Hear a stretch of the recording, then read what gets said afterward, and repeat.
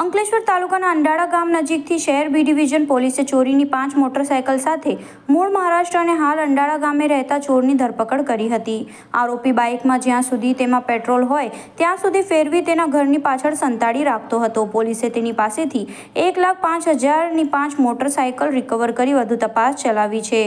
ભરૂચ જિલ્લા એસપી મયુર ચૌહાણ દ્વારા મળેલ આદેશ મુજબ અંકલેશ્વર શહેર બી ડિવિઝન પોલીસ મથકના પીઆઈ વીયુ ગડરિયાએ તેમના વિસ્તારમાં થયેલી મોટરસાયકલ ચોરી અંગેનો ભેદ ઉકેલવા અલગ અલગ ટીમો બનાવી કામગીરી કરવા સૂચનાઓ આપી હતી. આ સમયે તેમની ટીમને માહિતી મળી હતી કે અંડાળા ગામનો એક ઈસમ અલગ અલગ વિસ્તારમાંથી મોટરસાયકલ ચોરી લાવી તેના ઘરના પાછળ રાખે છે. જ્યારે હાલમાં તે ચોરીની સાઇન મોટરસાયકલ લઈને ફરી રહ્યો છે. જેથી પોલીસે માહિતીના આધારે તેને ચોરીના મોટરસાયકલ સાથે ઝડપી પાડ્યો હતો. પોલીસે તેની પૂછપરછ કરતા તે મૂળ મહારાષ્ટ્ર અને હાલ અંડાળા ગામની સહજાનંદ સોસાયટીમાં રહેતો વિલાસ બબ્બન ધોતી હોવાનું જણાવ્યું હતું. તેની પાસેની બાઇકના જરૂરી કાગળો માંગતા તેની પાસે નહીં હોવાના ગલ્લા તલ્લા કર્યા હતા.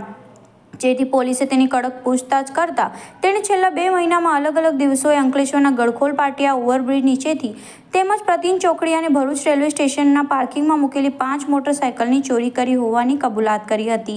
આ ઇસમ જ્યાં સુધી બાઇકમાં પેટ્રોલ રહેતું, ત્યાં સુધી ફેરવીને પેટ્રોલ પૂરું થઈ એટલે તેના ઘરની પાછળ સંતાડી દેતો હતો. પોલીસે તેના ઘરની પાછળથી પાંચ બાઇક કબજે કરીને કુલ એક લાખ પાંચ હજારની બાઇકો રિકવર કરીને વધુ તપાસ હાથ ધરી છે.